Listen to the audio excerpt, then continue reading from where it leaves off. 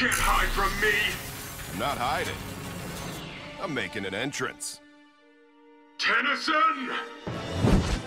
Ah! Really, Eon? Attacking me all by yourself, in my own headquarters. You call that a plan? I don't need a plan to defeat you.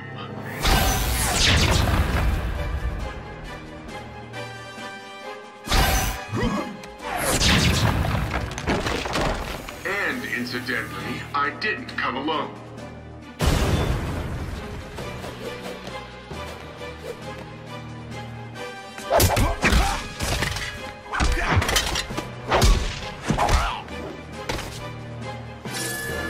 Sure, it's all fun and games until someone loses an eye. Whoa! Any last words, Tennyson? I'm collecting them.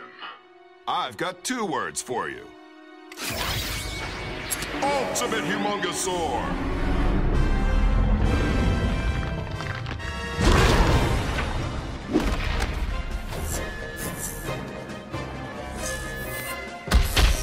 Arctiguana!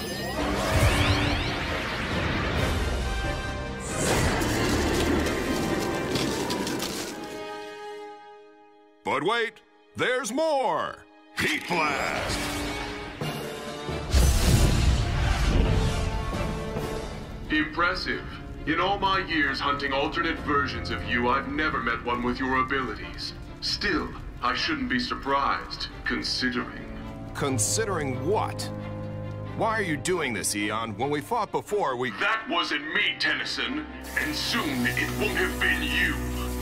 I'm not just gonna stand here and let you nail me with that time ray. Clockwork!